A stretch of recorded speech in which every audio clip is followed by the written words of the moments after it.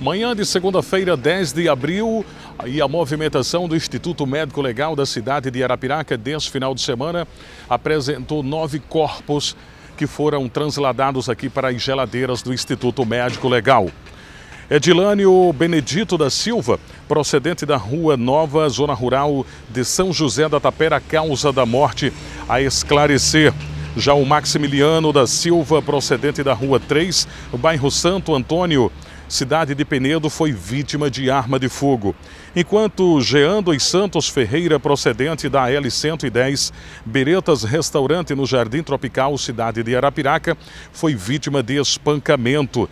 Enquanto Givaldo de Oliveira, procedente do Rio São Francisco, em Traipu, causa da morte a esclarecer, mas segundo as informações, ele teria se afogado. Hernan Febrônio dos Santos, procedente do Hospital de Emergência do Agreste Cidade de Arapiraca, causa da morte, arma de fogo.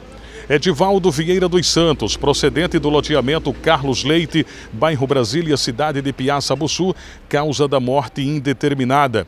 Enquanto Valdir Pereira de Barros, procedente do Hospital Regional de Delmiro Gouveia, causa da morte, acidente de trânsito. Já o Edivaldo Barbosa da Silva, procedente da rua Irmão Leite, bairro Brasília, cidade de Arapiraca, causa da morte ainda a esclarecer.